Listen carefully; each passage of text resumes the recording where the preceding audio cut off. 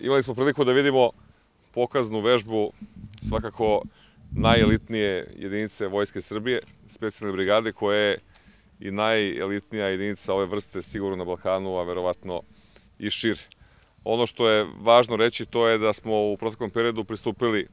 opremanju ove jedinice po najboljim standardima i nastavak opremanja će biti već u toku leta kada će prva vozila tipa Hameri stići upravo u specijalnu brigadu. Naglašavam da je ovo najelitnija jedinica ne samo po opremi i ljudstvu, već i po želji mladih ljudi u Srbiji da upravo pristupe ovoj jedinici, jer smo za 60 i nešto mesta koliko je bio raspisan konkurs imali preko 420 kandidata, što znači da je oko 7 kandidata na jedno upražnjeno mesto za pristupanje ovoj jedinici, što pokazuje da je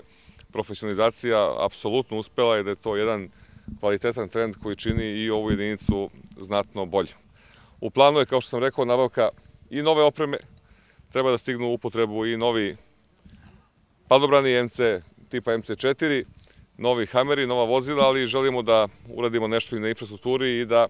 ova kasarna dobije jedan drugačiji oblik koji će biti multifunkcionalni na taj način da štedimo i jedinici samo i ministarstvo obrane, jer sad imamo velike troškove kada se odlazi van kasarne na bojeva gađanja. Za tekuće potrebe imamo apsolutno dovoljno novca, međutim ne zadovoljavamo se samo sa tekućim potrebama. Ono što je važno reći, mi smo u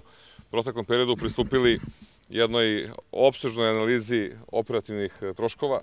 sa željom da smanjimo one troškove koji su nepotrebni, a da povećamo troškove za vežbe i za investicije. Očekujemo da budžet u toku sledeće godine bude kvalitetniji od ovoga i siguran sam da ćemo nastaviti kvalitetno opremanje Vojske Srbije. Ono što je činjenica, pokrenuli smo referate za nabavku novih helikoptera koji nisu kupovani više desetina godina. Kao što znate, u ovoj godini smo kupovali nove letelice tipa Lasta koji takođe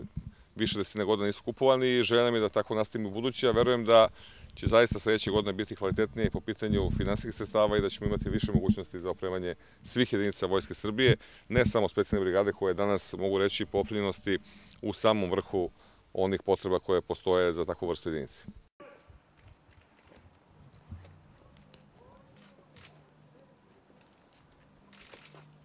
Oficiri, podoficiri, vojnici, zdravo!